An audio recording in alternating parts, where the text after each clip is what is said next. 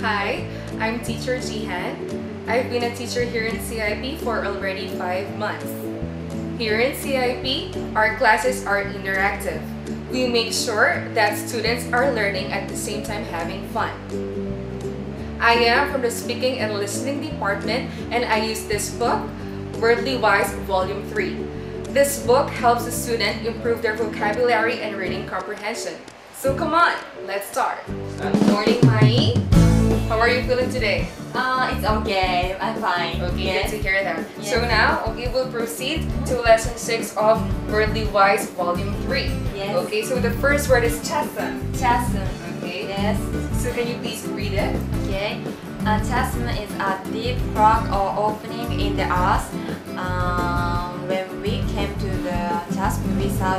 only way across was on old rope bridge. Okay, very good. So can you please give me an example of a chasm? Uh, chasm is uh, how to say vol- volcano and crack. Okay. opening in the earth. Okay, perfect. Awesome. That's correct. Awesome. Okay, next continent. Continent. Can you please read? Yes. Uh, one of the seven great land area of the.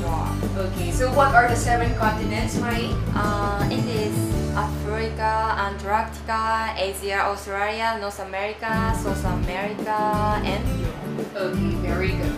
Okay. Next, credit. What is credit? Credit is um, an honor or prize, a way of expressing thanks. Okay. And the second meaning of credit? Second meaning is a way of buying things and paying for them later. Okay, very good, Mai. Do you have a credit card? Yes, I have. Okay, do you often use it? Often use. I like often use. So you really love shopping. Yes, I love shopping. Okay, what when you shop, what do you usually buy? Uh, I always uh, shopping. I always buying something on, on internet. Uh, I use always a credit. Yes. Here in CIP, we guarantee you English efficiency. See you soon.